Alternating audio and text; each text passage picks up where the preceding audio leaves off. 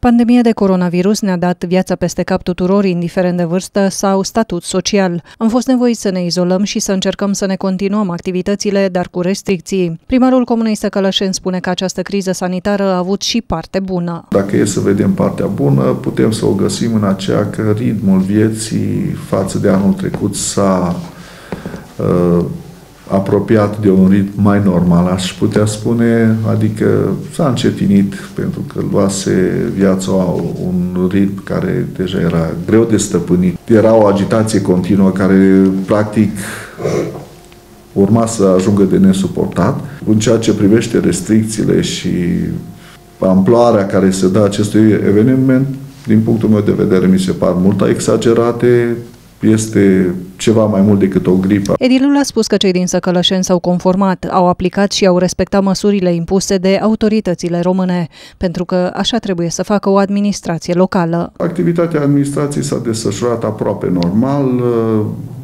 lăsând la o parte faptul că se lucra cu mască, se lucra de afară, se lucra pe uh, online, Ceea ce până la urmă este și un lucru bun, că s-a deprins modul de lucru online de către mai mulți cetățeni. Asta este o parte de asemenea bună a pandemiei și Sigur, activitatea practic nu a avut de suferit. Locuitorii comunei s-au adaptat și ei situației și au încercat să facă lucrurile să funcționeze chiar și de la distanță.